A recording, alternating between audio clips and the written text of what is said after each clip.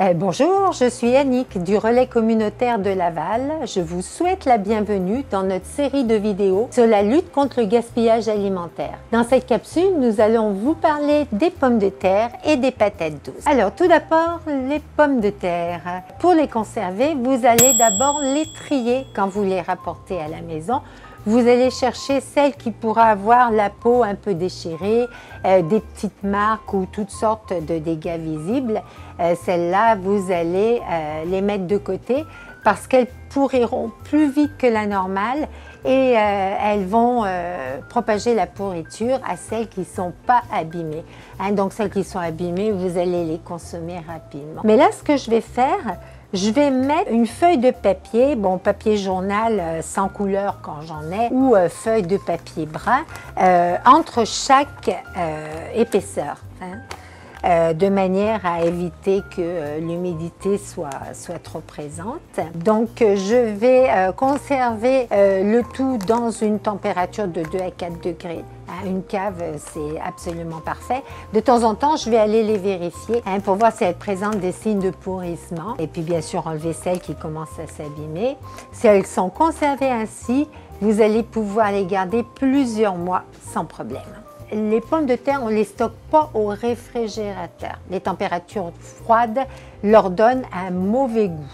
Donc, euh, les patates douces. Plus fragiles que les pommes de terre, on va conserver nos patates douces à l'ombre et au frais, mais pas au frigo. On va les conserver à température ambiante. Pour ça, il existe une technique ancestrale, le durcissement des patates douces. Hein, parfois, au, temps des récoltes, euh, vous en achetez une grosse quantité et euh, vous ne pouvez pas les consommer rapidement euh, pour autant. donc, vous allez les garder dans une pièce environ à 25 degrés centigrades, à 75 Fahrenheit, très humide.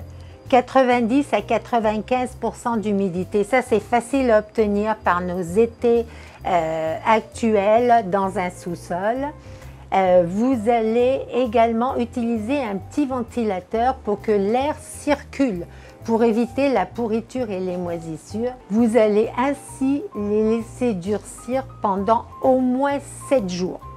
Elles peuvent rester jusqu'à 14 jours le processus de durcissement va créer une seconde peau qui va se former sur les petites éraflures, ben, par exemple, hein, euh, de la patate douce et qui va euh, donc lui permettre de durer plus longtemps.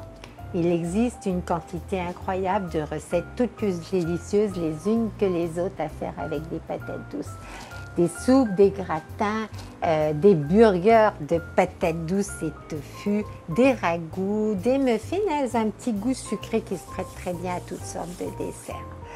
Donc, comme vous le voyez là encore, avec le relais communautaire, tout se transforme, rien ne se perd. Voilà pour aujourd'hui. Vous trouverez les détails de chaque recette en dessous de nos vidéos sur nos réseaux sociaux, Instagram et Facebook et sur notre site web.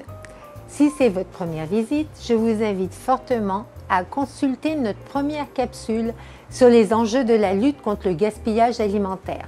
Parce que lutter contre le gaspillage alimentaire, c'est contribuer efficacement à assurer en tout temps une alimentation saine à notre communauté.